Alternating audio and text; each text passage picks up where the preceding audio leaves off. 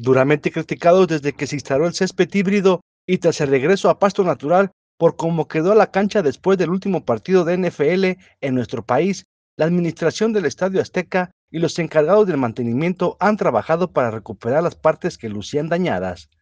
La pausa obligada por la contingencia sanitaria, entre otros factores, les ha ayudado a mejorar el estado del terreno de juego, que ahora luce mejor y que esperan que quede al 100% para cuando pueda renovarse la Liga MX informó Isaac Pérez.